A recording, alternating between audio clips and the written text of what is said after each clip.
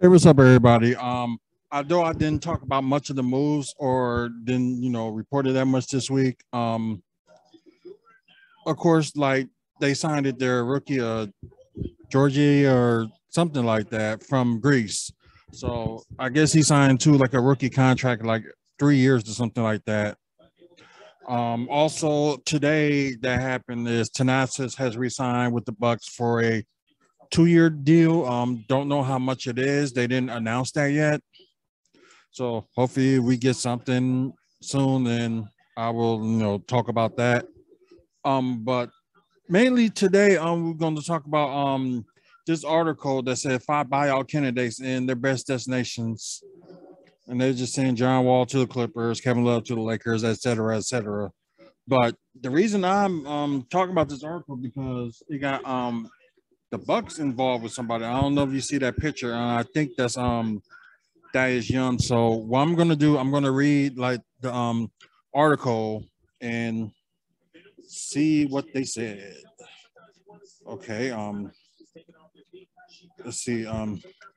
They talk. I guess he'll be a good like you know backup point uh, point guard for um Chris Paul. So not bad. Um. Instead of showing the lip Ricky Rubio has to think about his value has soared. There had to be teams watching the hoping Rubio can agree on a buyout with the remaining 17 million on this deal. Um, why they still got the Timberwolves are going to be back next year? Rubio salary's too much. They traded Ricky Rubio. I don't know. Did the trade get canned or something? I don't know. But I know um he's been traded, so I just can't remember what team he's going to be traded to, but I don't know. In his first year playing on the Monty Williams, um, he averaged career highs in points and dish out, you know, points he had 13 points a game and dish out 8.8 assists per game. Cameron Payne is a much better shooting guard than Landry Shamet, which will allow Payne to move from the one guard to the two guard, making room for Rubio. With the NBA Finals aspirations, again, Ricky Rubio is proven veteran that could contribute right away with a familiar team. Okay, and this is one of the reasons that we wanted to talk about. Thaddeus Young to the Milwaukee Bucks. His last year status was 12 points a game, 6.2 rebounds, uh, four assists, uh, one, 1.1 steal, and a little over almost a block a game. So let's see what they said. Um, and I probably will talk about a little bit in a minute too. So there were times that Thad Young was a point forward for the Chicago Bulls. Last year, he shot career high of 55.9 from the field when he assisted were almost career best. Young is one of the best post players and can pass the ball. At 33 years old, he doesn't provide much value to the Spurs team that is trying to play well play younger guys. However, he provides strong value to the Bucks team trying to defend their title.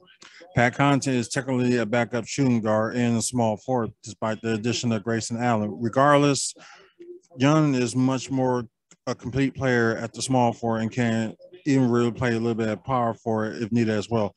Well, this would be a good thing for them to like to get, you know, somewhat of like a combo forward. So, which like I know they already got that in Sammy. Um, I can't pronounce his last name, so the, guard, the guy they got from Boston. So I'll get used to his name eventually. But it seemed like they got that in the combo forward in him, but but like seeing like the uh, Thaddeus Young that got a career high of 55.9%. So they probably would need some scoring plus like post up player. And like I don't know how his defense is, but he probably that got that size, you know, like think he's six seven, six eight. But yeah, interesting enough that you know that um if they you know manage to get him during the uh, during the season, then we'll see. So it's like too early in the season for you know, but I guess like if they want to buy out or something like that, then they can probably do that now. So, but um, yeah, it will um but the thing is, is like right now they got like a lot of players like signed or whatever. But I probably would look at that um like NBA trade thing and then talk more about it. Cause like I think you can have like up to 20 players signed, but you gotta at least have like um 15 on the roster and two two-way players to um for your team. So like they get up to 20 people, three of them got to go during the um preseason. So I guess like if they end up doing it that way, like if they you know end up getting like Thaddeus Young sign them for like maybe like a one year deal or like a veterans minimum or something like that, they can probably can do that. But y'all comment below. What y'all think of like if if Thaddeus Young end up being with the um Milwaukee Bucks, either during his off season or after the trade deadline when he act, probably asked for his um buyout. Who knows? Um, Goran Dragic. Um, of course, he got traded to Toronto, but I think like most likely, I don't know. I don't know if they're gonna actually, you know, Toronto gonna let him go. It all depends on how Toronto's gonna do this season. But um, but yeah, he'll be a good fit for Dallas. Like they probably need that type of point guard that that's in his skill level, like a backup, or they can do um, you know, of course his connection with Luka Doncic is yeah.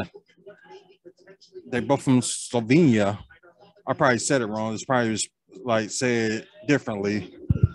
But they can also, you know, they can be like play at the one and like of course Dragic can play in the one and Doncic can play the two. Um, like play like you know combinational guards and stuff like that. So that's possible.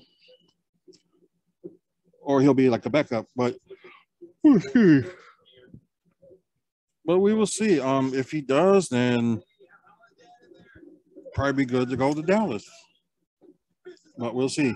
Um, Kevin Love, um, of course, he was injured most of the season. Uh, twelve point two points per game, um, seven point four rebounds, uh, two and a half assists per game, 0.6 steals, and 0.1 block.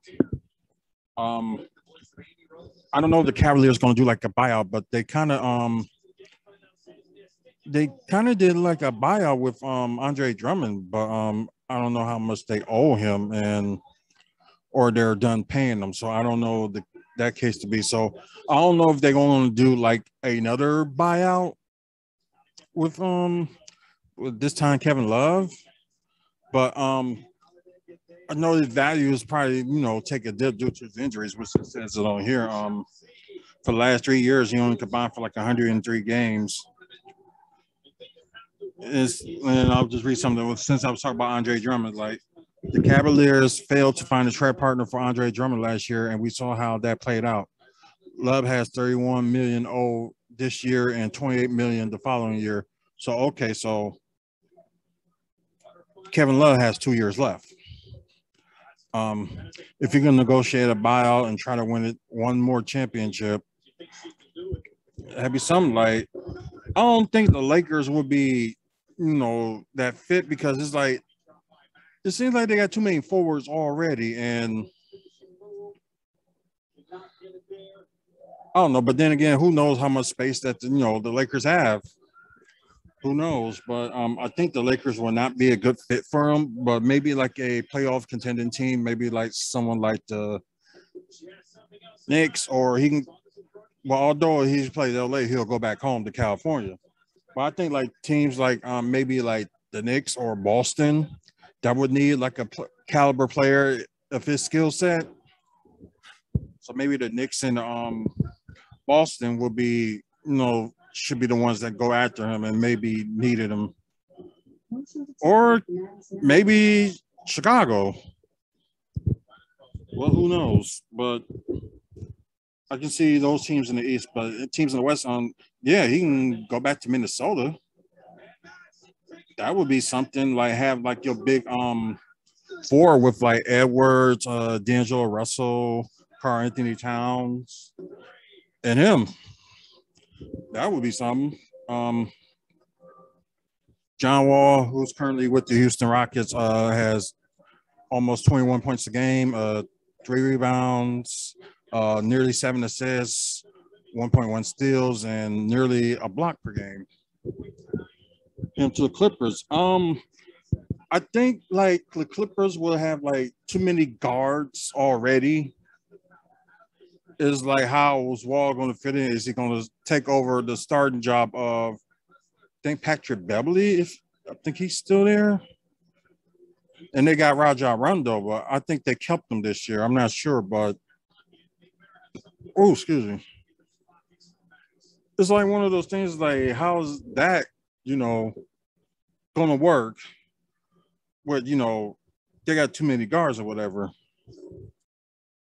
Although he um sorry, that um he did play, you know, um most of last season. Um it's just like interesting, like they should put him with like the Clippers. Um, I'm trying to think of the team that would need a guard if they're making it through the playoffs. I think I don't know. Maybe Wall can start and have Patrick Beverley play like you know the backup point guard or something. They can do that if they wanted to. I don't know. Part of me just don't see it fit with him and the Clippers. Maybe him and um, like we was talking about the backup point guard in Dallas, or maybe no, I wouldn't say Minnesota. I would say um, maybe Utah will be one, or Portland. I can probably see him in Portland, unless they want to, you know, have him as a backup um, point guard, or let's see, let's see, let's see. I'm trying to think of another team. Um, and maybe Golden State, maybe.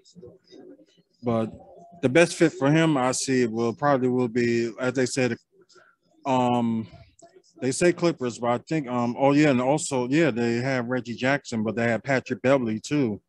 So that's gonna be like, don't know how they're gonna do that. So most likely, I think the best fit would probably be I think the Knicks need a point guard, so maybe send them to the Knicks. Or if Charlotte is up there in the um playoff contention, no, no, that wouldn't work either. But there's a few teams out there that probably would use them, but I just think Clippers is not one of them.